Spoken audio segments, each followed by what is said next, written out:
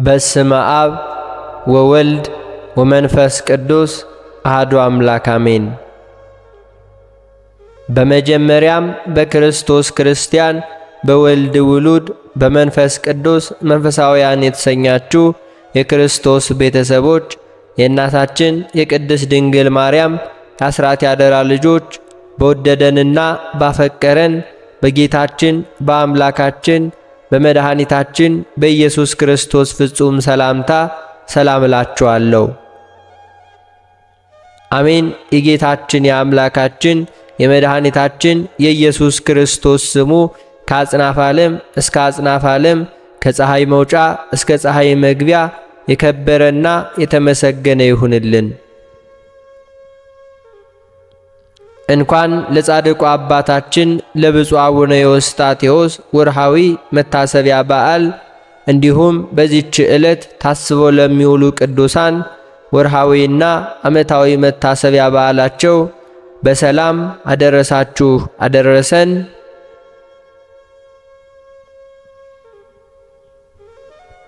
የተከበራችሁ የልዑል እግዚአብሔር ቤተሰቦች ከዚህ በመቀጠል የዕለቱን ምስባክ እናሰማለን። መዝሙረ ዳዊት ምዕራፍ 140 ከቁጥር 3 አቤቱ ለአፌ ጠባቂ አኑር፣ የከንፈሮችንም መዝጊያ ጠብቅ፣ ልቤን ወደ ክፉ ነገር ሁሉ አትመልሰው። ሴም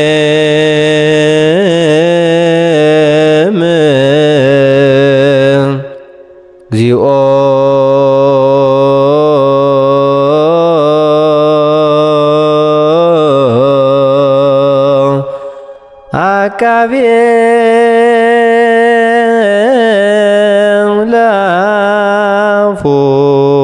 ላፎየ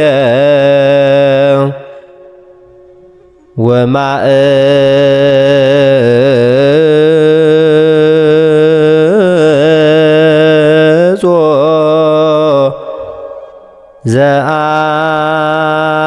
ዘአቅሞ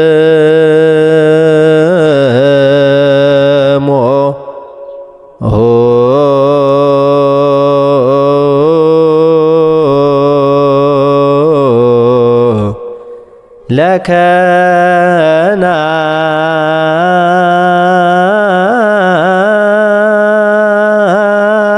آفرا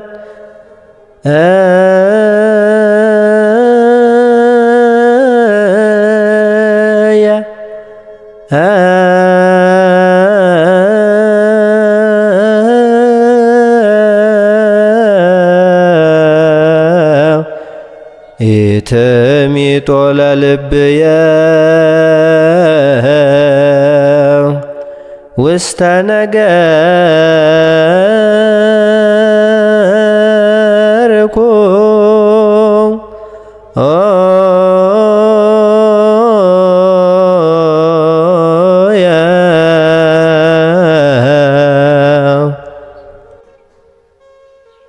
የተከበራችሁ የልዑል እግዚአብሔር ቤተሰቦች ከዚህ በመቀጠል የአባታችን የአቡነ የወስጣቴዎስን ታሪኩን እናነባለን። በስመ አብ ወወልድ ወመንፈስ ቅዱስ አሐዱ አምላክ አሜን። አንድ አምላክ በሆነ በአብ በወልድ በመንፈስ ቅዱስ ስም እናምናለን ዛሬም ዘወትርም ለዘላለሙ አሜን።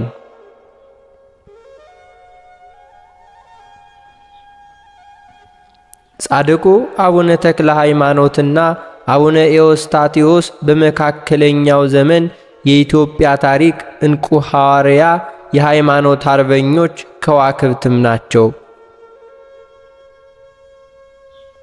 ኢትዮጵያዊው አቡነ ኤዎስጣቴዎስ በኢትዮጵያና በኢትዮጵያ ቤተ ክርስቲያን ታሪክ ውስጥ ጉልህ ስፍራ ያላቸው ታላቅ ጻድቅ አባት ናቸው።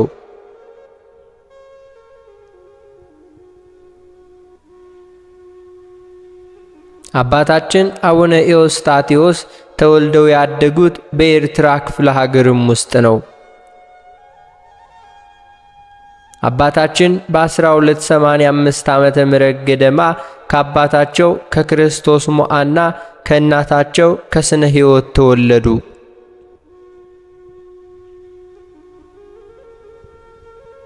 የጻድቁ የመጀመሪያ ስማቸው ማዕቀበ እግዚ ለጌታ የተቀመጠ ወይንም በጌታ የተጠበቀ ማለት ነበር።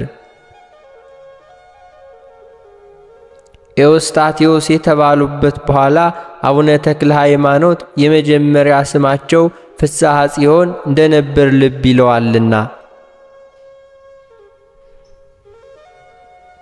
አቡነ ኤዎስጣቴዎስ ገና ከልጅነታቸው መንፈስ እግዚአብሔር ያደረባቸው ስለሆኑ ለዚህ ዓለም ግድ አልነበራቸውም። ከቤተ ክርስቲያን ሁሉ መግባት መምህራን የቤተ ክርስቲያንን ትምህርት ሁሉ ተምረው ዲቁና ተቀብለው በቅንነትና በቅድስና ሲያገለግሉ አበው ዳግማዊ እስጢፋኖስ ብለው ይጠሯቸው ነበር።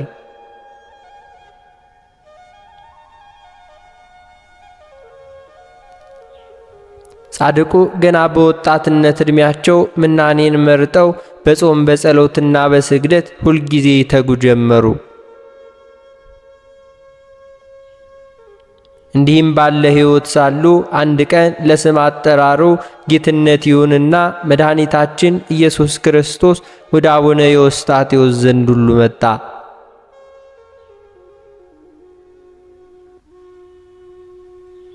በዘባነ ኪሩብ በግርማም ቢያዩት ሁሉ ደነገጡ። ጌታ ግን ወዳጄ ኤዎስጣቴዎስ ገና ከእናተ ማኅፀን መርጬሃለሁ ከኢትዮጵያ እስከ አርማንያም ሐዋርያ ትሆን ዘንድ ሹሜሃለሁም አለው።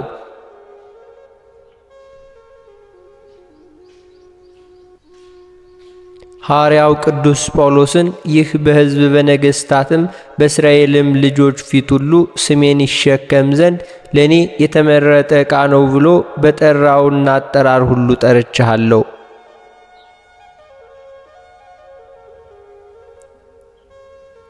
ዘኪያከ ሰማአ ኪያከ ሰማአ አንተን የሰማ እኔን ሰማ፣ አንተን እምቢ ያለ ግን እኔን እምቢ ያለ ብሏቸው ባርኳቸው ሁሉ አረገ። የሚሰማችሁ እኔን ይሰማል፣ እናንተንም የጣለ እኔንም ይጥላልና እኔንም የጣለ የላከለኝንም እግዚአብሔር አብን እርሱን ይጥላል ብሏል።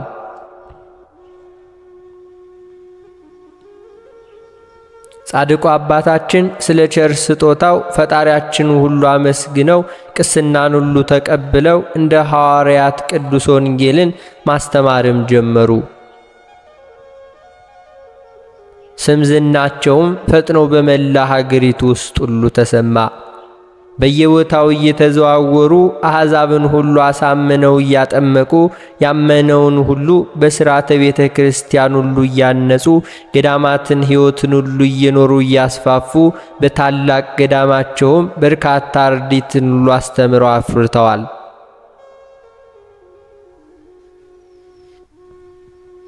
ጻድቁ አባታችን አቡነ ኤዎስጣቴዎስ ቀደሚት ሰንበትን ሁሉ ልክ እንደ ሰንበተ ክርስቲያን እንደ እሑድ ሰንበት እንዲናከብር እስከ ስደት ድረስ ሁሉ ከፍተኛ ተጋድሎ ድረስ ሁሉ አድርገዋል። ዓላማቸውን ሁሉ አሳክተው ነበር።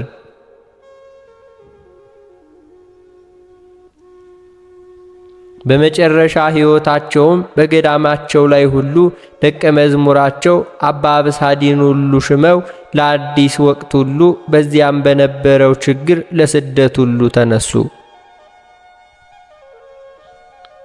ልጆቻቸውን በገዳማቸው ሁሉ እንዲጸኑ መክረው ተወስነው ሁሉ ሁሉንም አስተካክለው ወደ አርመንያ ሁሉ ተጓዙ።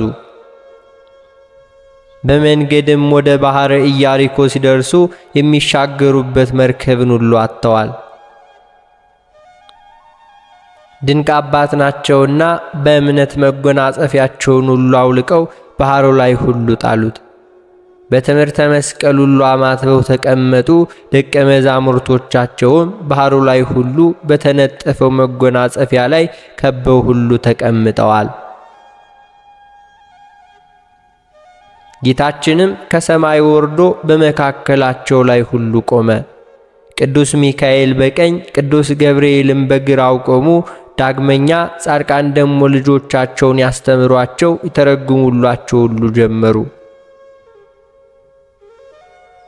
በመካከል ግን አንዱ ደቀ መዝሙራቸው የማነ ብርሃን የተባለው በቅኔ ቤት ሁሉ በመጠራጠሩ እርሱ የተቀመጠባት ብቻ ቀዳዳ ሰጥሞ ሁሉ ሙቷል። ጻድቁ አባታችን ከሰጠመበት ሁሉ አውጥተው ከሞት አስነስተውታል። በዚህም ምክንያት ዘአደወ ባህር ማዕበሉን ሁሉ የተሻገረ ሁሉ ተብለዋል።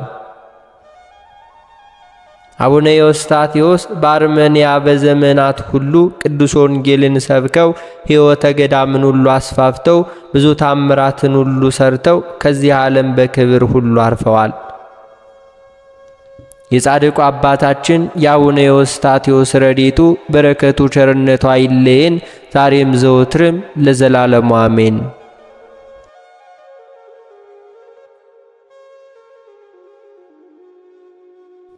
የተከበራችሁ የሉል እግዚአብሔር ቤተሰቦች ከዚህ በመቀጠል በመጋቢት 18 ቀን የሚነበበውን ስንክሳር እናደርሳለን። በስመ አብ ወወልድ ወመንፈስ ቅዱስ አሐዱ አምላክ አሜን። አንድ አምላክ በሚሆን በአብ በወልድ በመንፈስ ቅዱስ ስም መጋቢት 18 በዚች ቀን የሰማይቱ የቅዱስ ፀሐይና ጓደኛ የከበረ ኤስድሮስ በሰማዕትነት አረፈ።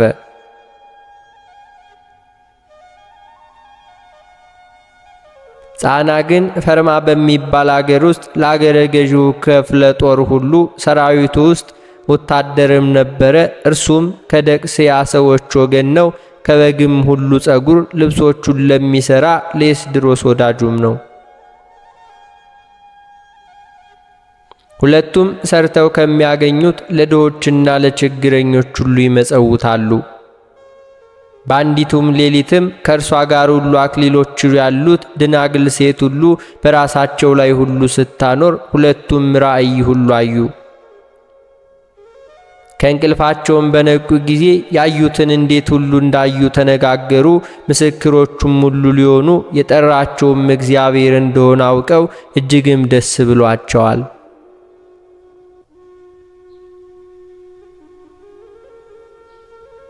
ከዚያም ተነስተው ሄደው ወደ መኮንኑ ደረሱ። ቅዱስ ፀሐይናም ሁሉ ትጥቁን ሁሉ ፈቶ በመኮንኑ ፊት ጣለው። ሁለቱም በጌታችን በክብር ባለቤት ኢየሱስ ክርስቶስ ማመናቸውን ሁሉ ገለጡ። መኳንንትም ነገራቸውን ሁሉ ሰምተው አስረው ይደበድቧቸው ዘንድ አዘዘ። እግዚአብሔርም መልአኩን ልኮ ሁሉ አዳናቸው። ከዚህም በኋላ መኮንኑ ወደ እስክንድሪያ ቅዱስ ፀሐይን አላከው። ቅዱስ ኤስድሮስ ግን በዚያ ተወውና ከጥቂት ቀኖችም በኋላ የእስክንድሪያው መኮንን ቅዱስ ፀሐይናን ወደ ፊርማ ሁሉ ከተማ መለሰው። ሁለቱም ቅዱሳኖች ተገናኙ። በመገናኘታቸው ደስ ብሏቸው በላያቸው በእያንዳንዳቸው የደረሰውን መከራ መነጋገር ጀመሩ።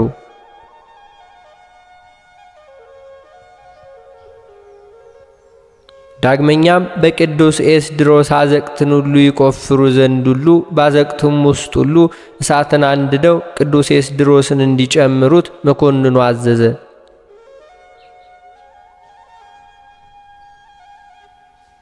ቅዱሱም ጥቂት እስኪጸልይ ድረስ ይታገሱ ዘንድ ወታደሮቹን ለመናቸው። ወደ ጌታችንም ነፍሱን ይቀበሉ ዘንድ ለሥጋውም ሁሉ ያስቡ ዘንድ ሁሉ ጸለየ።